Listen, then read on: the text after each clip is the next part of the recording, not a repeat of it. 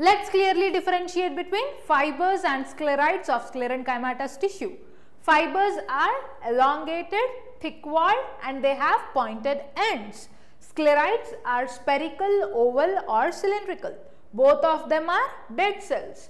Fibers lumen is narrow, in sclereids lumen is very narrow and they occur in groups of various parts of the plants whereas sclereids are scattered in specific parts. Fibers will provide mechanical strength, sclereids provide hardness and mechanical strength. Most important segment is examples. For fibers, best examples are commercial fibers like jute, flax and hemp.